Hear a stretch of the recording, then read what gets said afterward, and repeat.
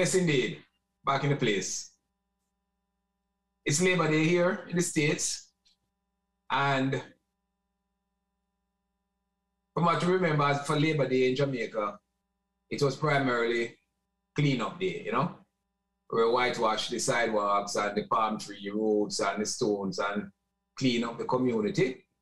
And we made a special effort, a meaningful, committed effort to make sure that the neighborhood in, within which you live was presentable. I would try to maintain that throughout the year. But sometimes, you know, the garbage and stuff would put a little dent in those efforts. Because what, what I remember in the 70s, um, it was a big deal to make Labor Day a very productive day. Here in the States, it's primarily in recognition for the work of labor in building this country. Well, we're not going to go into some of the kind of labors, but unions in the 30s and 20s and 40s created better working conditions for many of the working class and the development of things like better bathrooms, simple things like better bathrooms, facilities, better working conditions, um, you know, creating pensions and so on for workers, and having workers participate a little bit more in the building of the nation, whether it was manufacturing, you know, science and industry. But I'm going to reference a simple understanding of labor and the sweat equity. So a friend of mine, Grace Morris Thompson, posted an anniversary celebration for the George Cohen Basic School there in Port Antonio. Now, Grace and I grew up together. There was Grace Morris, as I knew her then, and Claudia Roper. We were two American friends as youths, growing up from infant school to primary school to high school. And then life divergent path took us in different directions. But people like Grace remained in Port Antonio, you know, got their educational training, went back to Port Antonio, and still there. And remember now that back in the day, like when George Cohen Basic School was built or established, this is 1971, you know, 50 years ago. Teachers were some of the first entrepreneurs. I remember now in our society, in our culture, entrepreneurship really wasn't say frowned upon, but it wasn't a path that many people took.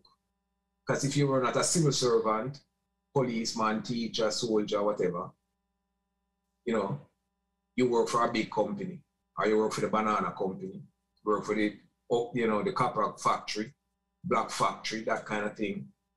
And invariably, you work with an established entity, but, in, but most people would not have gone off on a path of seeking their own growth patterns. So people like the current principal, Mrs. Thompson, not Grace, but another Miss Thompson, went off and created, with the help of George Cohen, this basic school. And for that, remember now that the foundation that many of these little basic schools created for many of us, when look back 50 years ago, 71, you know, I was still a young man. So when I look at the pictures and see the smile with the youth, them with them tie down to them knee and them hand, you know, just like a bright smile. You kind of just look at yourself in the mirror, a younger self, and realize that the foundation that was built for us on the backs, the sweat, blood, sweat, and tears of many a young entrepreneurs. And there are a number of them in Port Antonio who were not only teachers, but they would bake cookies and bring to school, bake, bake all kind of candies and bring to school, to not just supplement their income, but to provide a service to the youths who went to the school there. You know, there was Miss Henry, there was Miss Ashmead, there was so many of them. You know, Miss Townsend, and, and the list goes on and on and on, who had these little entrepreneurial outlets that created the kind of connection with their students. so that they understood that they just not, weren't meant to be just teachers, but they were there to care for them and care about them. So, Grace,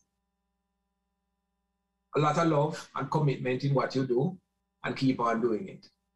Because remember now, in the small town that we're from, we grew up seeing civil servants like policemen and teachers as part and parcel of the fabric of our community. I remember I'll command name Mr. Reed, he was a blue scene inspector. And he would walk the streets. He had a little um, Austin, Cambridge, and he would live, he lived right out at East Palm Avenue on the other side of Mr. Thomas, who was also another policeman. And then there was this man who would always fear First bike man, me know important to a bike policeman, we used to call him Sabu.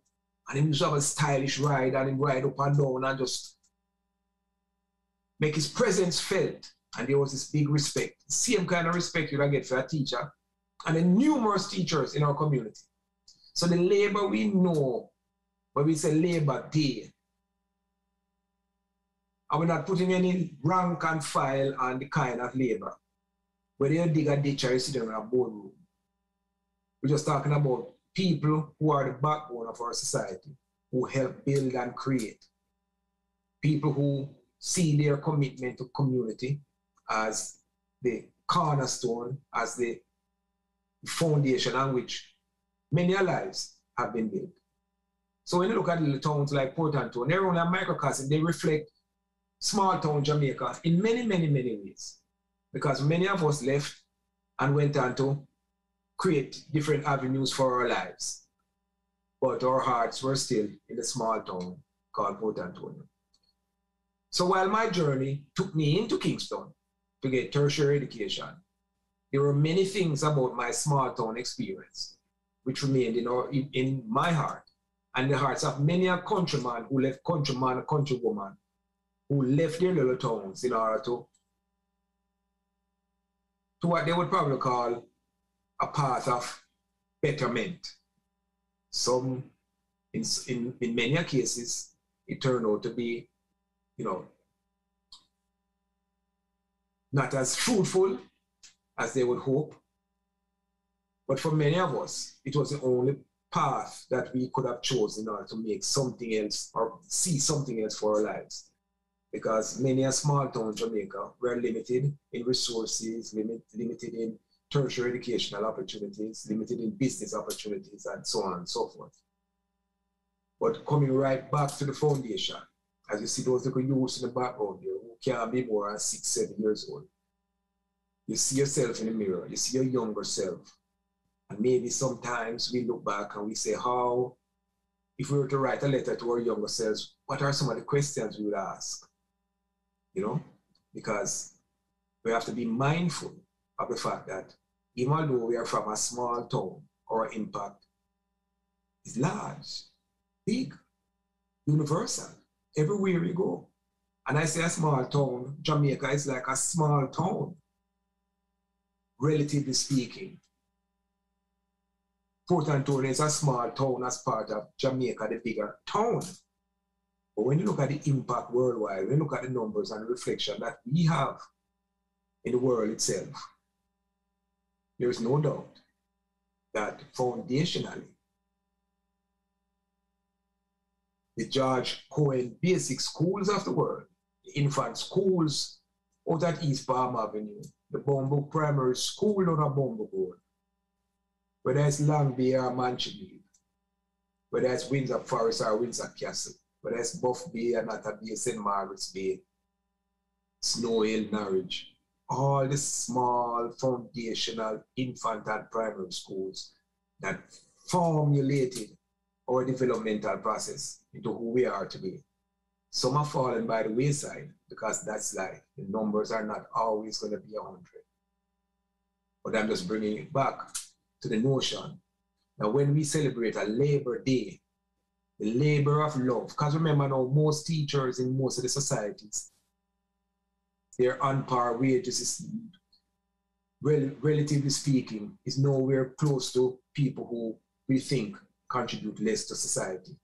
But yet we revere teachers much more than we revere pretty much any other profession in terms of its nobility, in terms of its creating human things that are outside of the reading, the writing, and the arithmetic. The yes, sir, the thank you, the please, the manners, the good language, the verbosity, the writing skills. We must understand again the foundational process created by teachers like Grace Morris Thompson and many others because grace is from my generation and the generation before and the generation after, must always be revered. Once again, friends, family, community, and we speak of this in the highest possible redeeming terms. We must embrace what is good about ourselves as small town country people. Again, walk good, take it easy. And just remember, as you go through your day, try your best to do no harm. Walk good.